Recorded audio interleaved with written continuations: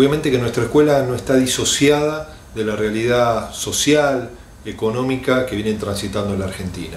Una Argentina en crisis que también ve cómo nuestra educación, a partir también de la retracción de las políticas públicas, sufre las consecuencias de manera directa. Es allí donde debemos pensar no solo en reafirmar el compromiso de aumentar el financiamiento por parte del Estado nacional y de los estados subnacionales, sino también en trazarnos objetivos claros en lo que debe ser una marcada presencia de nuestro sistema educativo en aquellos lugares donde más se demanda la presencia del Estado. Para lograr realmente que la escuela, que la educación se transforme en esa herramienta extraordinaria de modificación, de realidad, en la que nacen nuestros niños, en la cuna en la que nacen nuestros niños y niñas, debemos ser conscientes que hay que focalizar la política educativa en lograr realmente expandir el acceso a la educación inicial para todos aquellos argentinos que hoy están sufriendo las consecuencias de las políticas erráticas en los últimos cuatro años.